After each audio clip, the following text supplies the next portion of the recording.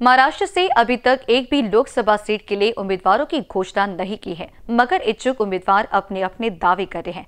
इस अटकलों पर प्रतिक्रिया देते हुए भाजपा प्रदेश अध्यक्ष चंद्रशेखर बावनकुळे ने कहा कि महाराष्ट्र में अभी तक एक भी सीट घोषित नहीं हुई है, मगर जल्द ही इसकी घोषणा की जाएगी। छोट्या बालकाला सुद्धा कळतं की महाराष्ट्राचं कुठलीच सीट